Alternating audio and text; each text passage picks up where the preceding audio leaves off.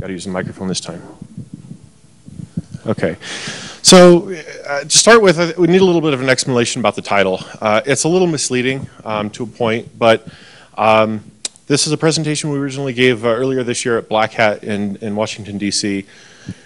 And I, the title was marginally clever, so we decided to stick with it. But uh, it's really not just about serialized GUI objects. To give you a little bit of a background as to uh, why we started doing this research, we were working on an application penetration test, and uh, it was written in Java server faces. Well, Java server faces is something we'd heard of, but we really hadn't done a lot of research on it. So we decided to start doing a, a deeper dive. Um, you know, created some some applications of our own, uh, started looking through the source code, and, and, discovered a flaw that, that very closely matches the title. It had to do with serialized GUI objects. But then uh, it, it, occurred to us that you know maybe there's actually some vulnerabilities in other frameworks as well. We started looking at .NET in particular and, and saw a closely related uh, vulnerability that uses a very similar technique, but uh, it doesn't have to do with serialized GUI objects. So um, might be a little more accurate to say it's about view states, but we couldn't come up with anything catchy. Uh, so uh, start off with, we'll, we'll have some definitions. We're going to talk a little bit about some of the things we were thinking through when we first documented it in terms of whether or not the vulnerability was an O-Day. Uh, go through some vendor documentation from, from three different vendors that were involved with this that, that led to the vulnerability being more severe than it really needed to be. Uh, we're going to provide a live demonstration, uh, first in uh, with Apache MyFaces, uh, and then also um, sort of explain at a lower level why it was happening, and then uh, show the, the related vulnerability in ASP.NET and also look at some source code there. And then finally, if we haven't been kicked off yet because of running out of time, we'll, we'll talk about some recommendations.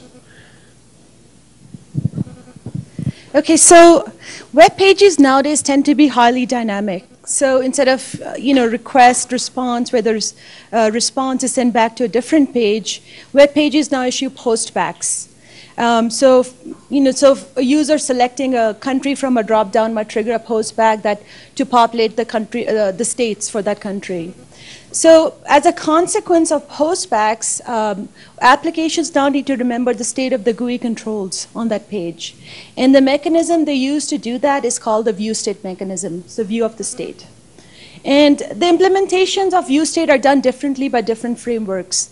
So Java server faces will store the entire uh, UI component hierarchy in the view state and, and, it, and the state of, that, of every component. While .NET just changes, uh, just stores the changes that have been done to each control programmatically. And the uh, so control hierarchy is actually so, uh, stored on the server. Um, so view state tampering. Um, there's a number of ways you can tamper, and that's really the you know gist of our presentation is how, how can you, you know, attack view states. So you can do a number of things. You can embed malicious data in client-side view states. Uh, where the server will render the attack in its response.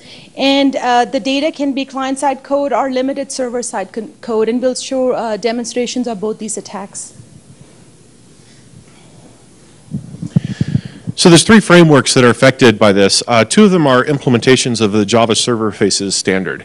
Uh, it's a standard that uh, is was formalized uh, by by Sun, but they didn't actually implement it. There's uh, as a direct part of Java. There's two main implementations. One of them is Apache MyFaces, where we made the original discovery of the, the vulnerability.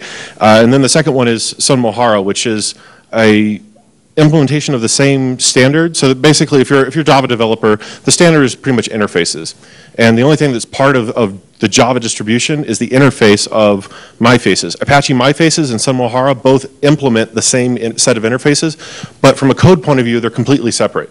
Um, because of the way they've implemented view state, though, they're both vulnerable to effectively the same attack. The, the actual uh, the, the, code has to be a little bit different just because there, there's some slight differences in how they, they generate the view state, but fundamentally it's the same. Um, for uh, Microsoft, uh, it's basically, well, the demonstration we're going to be doing should have been with uh, 3.5, but uh, I'll, I'll just say this right now. You know, we gave this presentation in DC, and one of my responsibilities was to, to keep track of the virtual machine that we were using for the demo. And last night, uh, about midnight, I, I realized that I, at some point in the last couple of weeks, probably, I deleted it.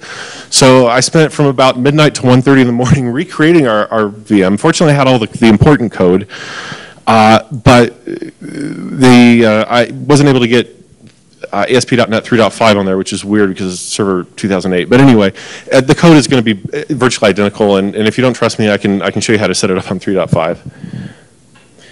One of the things that we were sort of pondering internally at TrustWave when we first came across this is, is this an O-Day? You know, on the one hand, nobody had ever really documented an attack quite like this.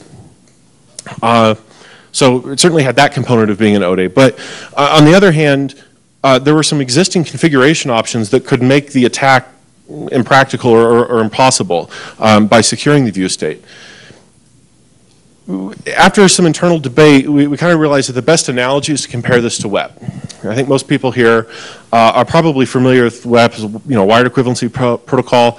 Um, when it was first released, it was known to use weak encryption, but there were no practical attacks against it. So no one was really surprised when in 1990, or excuse me, when in, in 2001, several years after it was released, someone came up with a practical attack against the algorithm, uh, and then later that year, the AirSnort was released, and, and WEP has been completely broken since then. But even though it was anticipated, just because uh, you know AirSnort was was fulfilling something that had been anticipated before, it was still really was an ODay the, in the, the vulnerabilities that, that, researchers before had, had documented. Uh, WEP is still available on access points today. Um, you know, we do Trustwave, we do wireless assessments. We see WEP all the time. Um, there was no patch that was released for WEP. The, the solution is really configuration. Um, you know, move to WPA, move to other uh, stronger forms of encryption. And, and, that really applies to this as well, the vulnerabilities we'll be talking about. Um, they have been predicted before, but uh, as far as we could tell, with one very small caveat that we'll get to in a little bit, um, no one ever actually launched this type of attack against view states. So as I mentioned earlier, part of the, the problem that sort of uh, led to this being more severe than it needed to be was poor documentation by the vendors. Um, when, we were, when, I was preparing the presentation, uh, or when Rohini and I were preparing it, uh, I was looking at in detail at some more of the documentation from the vendors. Uh, for example, this is from Sun uh, and their, their FAQ for, for Sun Mojarra. One of the questions is, how can I secure view state when using client-side state saving? It's a very important question. The answer is, by default, view state will not be encrypted. However, there's a way to do this within Mojarra, and then it gives you examples of how to do it. Nowhere in there does it say, if you don't encrypt the view state, you're going to be in a lot of trouble because you're going to be allowing the, the, uh, the attackers access to all kinds of stuff. So Sun wasn't wrong, but they didn't really give very good advice either. The, the advice should be that you always secure view state. Apache gives a fairly poor recommendation, uh, or, or, at least used to. Um, they said one consequence of client-side state saving is that anyone with a decoder and some time to kill can reconstruct the UI object model on the client side. This can be a problem for those of us who make use of the excellent T-save state tag. Now, I, I found this sort of uh, marginally offensive because it kind of implied that anyone with a decoder and some time to kill uh, you know, maybe ha didn't have better things to do. That's exactly what we wrote, was a decoder. Um, I'd like to think that it wasn't because we just had too much time on our hands, uh, that it was a, a, good use of our time. But it's also bad advice because it, says it, it implies that it's only a problem if you're using T-save state tags, which is not true virtually any application written in, in using MyFaces, uh, or MyFace or uh, Sun Mojarra is going to be vulnerable to significant attacks uh, with just the most common of uh, controls that, that, pretty much any application is going to be using. Microsoft uh, is a bit of a mixed bag. Um, you know, Microsoft has huge amounts of documentation, so it's not very surprising that some of it's a little uh, contradictory. Uh, when they're talking about the security used to save the view state, uh, at one point, uh, several points in their website, they say, do not set this property to true if performance is a key consideration. Um, that is sort of true. It does take more CPU cycles to, to cryptographically sign something, but uh, I, I, suspect that this was written probably when .NET first came out back in 2000. Uh, 10 years later, CPUs are a lot faster. Uh, the amount of encryption to secure view state is trivial, and while it may be measurable on, on certain types of environments, it still isn't an option. It's not something that you can just disable to save a, you know, a few CPU cycles. It, in order to have a secure application, it is critical that the view state be signed. Um, They also make some recommendations that are, are good but not very specific. Uh, For example, they say by creating a hash value, the ASP.NET page framework can test whether the view state data has been corrupted or tampered with. That's their